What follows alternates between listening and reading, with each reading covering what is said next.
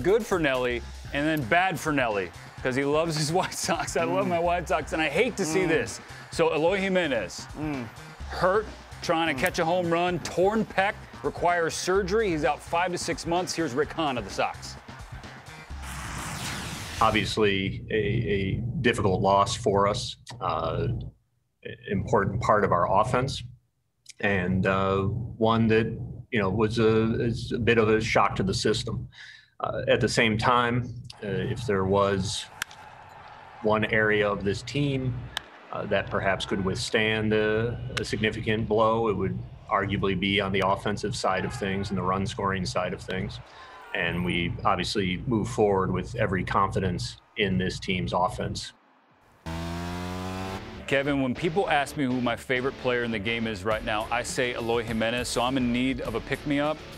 Can you find any positives to tell me finding out a, a guy who you slot in for 35 dingers easy? He's got that power in the bag, no problem.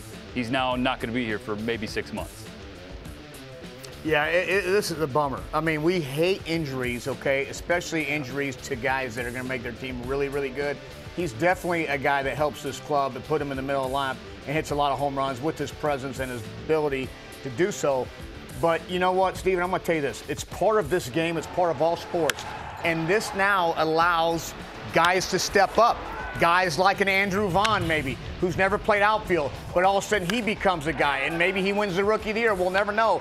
Eloy, though, this is a guy that loved by his teammates, funny, goofy, silly, huge power, but there are always opportunities for young guys that we don't know. And Andrew Vaughn, this is time now for him to step up, take advantage of this opportunity. No pressure. It's fun. Do what you do. He's like a miniature Javi Baez in that box. The hands go down, the leg kick, Josh Donaldson, whatever you want to say. Yeah. But understand this, Stephen.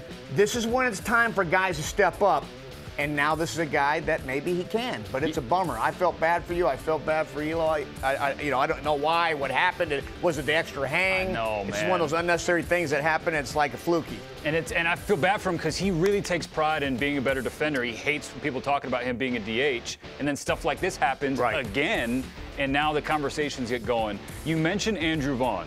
Okay, so this is a top prospect, former top pick, hasn't played real action since 2019 in the minors, hasn't seen a ton of minor league pitching, and now you are already expecting him to be a guy who carries the torch as a rookie after 2020 as the DH, and now you're going to throw him into a position he's never played before. And, but in listening to you, it sounds like you have a ton of confidence in that. You're not worried about that. No, I'm not because it happened to me personally when Andre Dawson, I grabbed him and said, listen, I never played right field. Tony Perez, John Boles got fired. Tony Perez went in to be a manager. He said, I want your bat in the lamp. Have you ever played the outfield? I said, yes. I've never played the outfield. You go out there and you work your butt off and you figure it out. Figure it out. Andrew, listen, it, he doesn't have to be a gold glove, okay? He's obviously a baseball player. He wears a baseball glove. You're going to go figure out where to position yourself, and we're straight up, a little bit deeper. You're going to hit the cutoff man. You're going to line yourself up at second and first, uh, straight up left field. And you know what? This is what it's about. This is when the staff takes over and, and, and basically develops this confidence that, you know, look, if Andrew's the guy, and we're just saying that, Yeah. but it's where you do it. You just do it. You get the job done and you do it. But injuries stink. They stink. Terrible. Now you got to get Eloy back, and hopefully he comes back. It's a long process, and Yeah. uh, Sox are good though. I, this is not this is not like oh my God, he was the only bat in this lineup, and Andrew has to be the only back. No, they got a ton of guys. They got a batting towel guy. They got an MVP dot guy like in Jose Abreu. So th- this is a plenty stuff in your lineup. Yeah, Adam Engel, the other outfielder who's been hurt recently, he's going to be out a couple weeks. They do have Nick Williams. They do have Leury Garcia. They do have Billy Hamilton. Maybe they go out and make a trade. Or maybe, Kev, maybe they just let Luis Robert play two positions because, as we have seen, he is not afraid to come over into Eloy's territory in left field, take away fly balls. Uh, the La Pantera, maybe he can handle it. Maybe he can play both. That's, that's, hey, if there's a guy that can, Luis can. I'm gonna tell you right now, Robert's special, and so you know, and this is what it's, it's about. Like you got to have depth.